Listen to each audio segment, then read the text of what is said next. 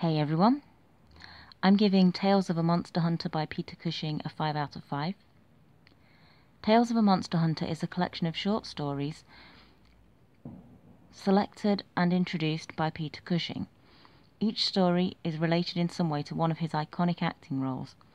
With stories from the likes of Mary Shelley, Bram Stoker, and Sir Arthur Conan Doyle, I was pleasantly surprised to find the collection is all lesser known stories.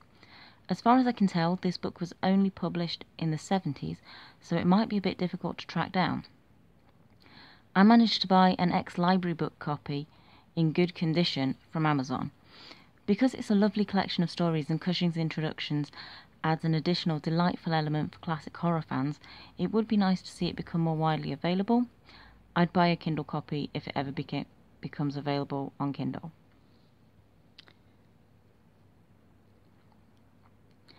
I can't really say much about the individual stories because they're all so short that saying anything about them really would spoil them. So if you're interested in classic horror and you're interested in Peter Cushing, this is definitely a book that's worth checking out. Thank you very much for watching. See you next time.